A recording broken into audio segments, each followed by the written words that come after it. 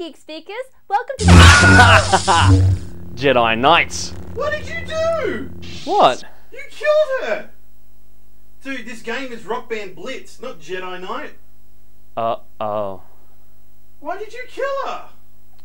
She looked like a zombie? She looked like. How could she possibly look like a zombie? She was acting like a mindless zombie.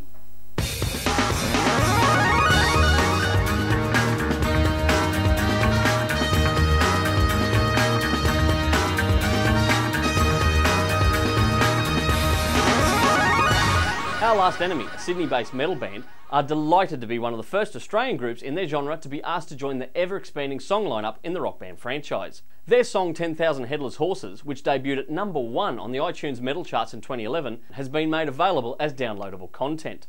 The Our Last Enemy song, along with over 3,500 other songs from the game's library, is available for download in over 27 countries across the globe.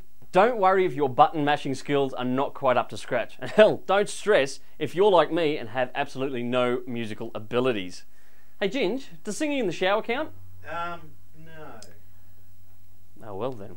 Anyway, no matter how terrible you are, the songs in Rock Band Blitz will keep you going.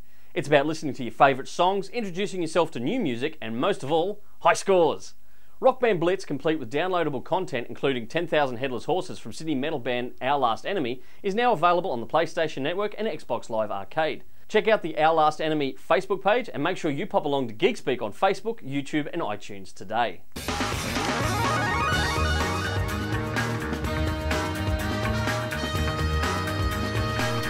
This week on Geekspeak Live, we have special guest, Spider Man fan extraordinaire, and journalist Mr. Jason Gibbs. You do realise I'm allowed to publish those photos of you, right? Aren't you married? Hmm. Naughty things happen on Geekspeak Live. Make sure you tune in.